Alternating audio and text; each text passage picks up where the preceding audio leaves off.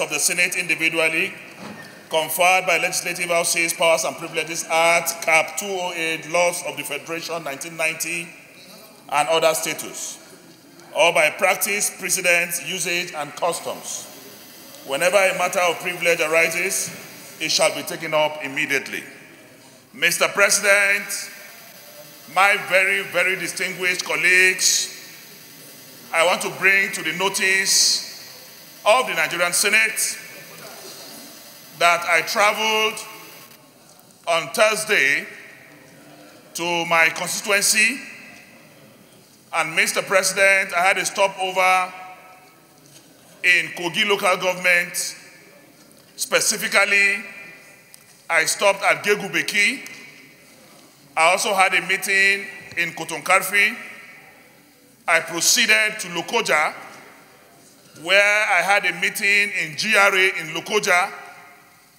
And after I completed my visit to my party faithfuls in Lokoja, I proceeded, Mr. President, to my hometown, where teeming supporters of the People's Democratic Party welcomed me. Mr. President, at about 7.30, I got an intel that the governor of Kogi State, through his ADC, have organized SARS men and some other dangerous individuals to come and assassinate me. Mr. President, I left my house at about 8 in, in, in the night. Lo and behold, Mr. President, at about 1 a.m., one white Hilux and two truckloads of SARS men landed my, my residence and invaded the entire residence in Aito in Kogi State.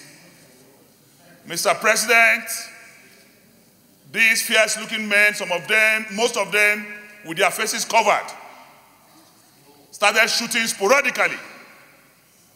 And when they found out that I was not there, they returned to Lokoja at about 3 a.m.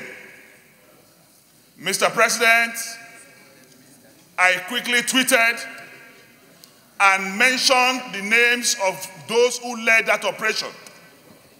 The operation was led by the OC SARS Kogi State, the 2IC SARS Kogi State, and 2IC Mopol.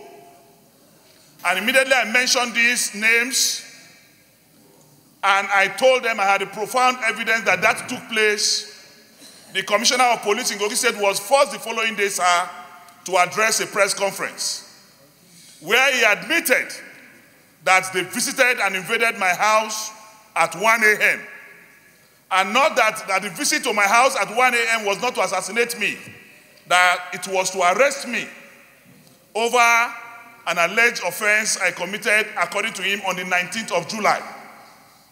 Mr. President, between 19th of July and now, my house is known to people. I have visited Kogi State six times between 19th and now. I was in Lokoja, the capital of uh, Kogi State, for more than two, three hours. They did not arrest me, only to come to my house at the unholy hours of 1 a.m.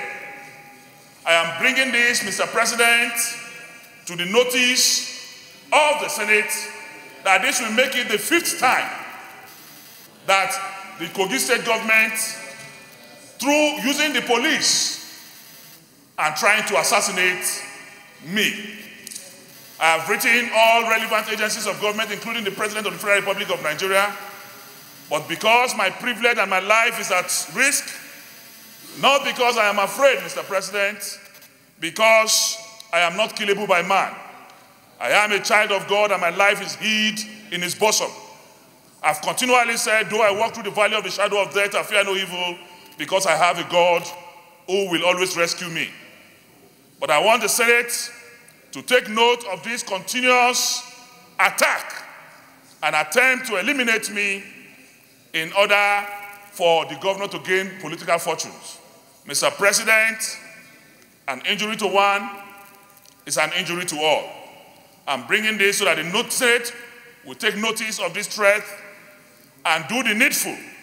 Mr. President, you personally wrote to the IG, and this Senate took a resolution that my security details, policemen, be restored. Since June the 22nd, Mr. President, they have been withdrawn. The IG refused to obey the order of, uh, of the resolution of the Senate. As I speak to you since April, I have no single security, I have no policeman, and my life is exposed. Secondly, Mr. President, there's an order of court three months ago, order of a competent court of law directing the IGE to release my international passport. Mr. President, more than three months after, the IG have refused to release my international passport despite a court order. And if an agency of government that is supposed to maintain law and order will refuse to obey the orders of court, then it means we are in a banana republic or if Nigeria is a pariah state.